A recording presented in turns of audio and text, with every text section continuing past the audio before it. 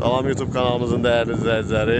Bu gün də damımızı dronla yox, səbətlə, hündürlükdən olan görüntüsünü sizlərlə tanış edirəm. Baxın, belə bir gözəl dam çıxdı.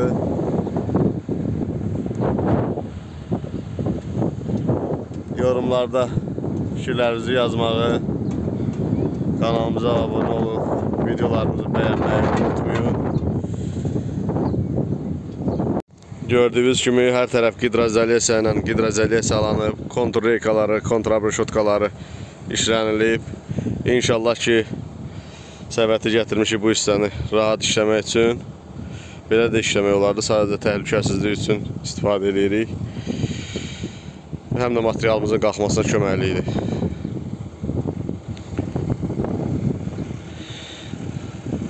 Fikirlərinizi yorumlara yazmağı unutmayın dəyərli izləyicilərimiz.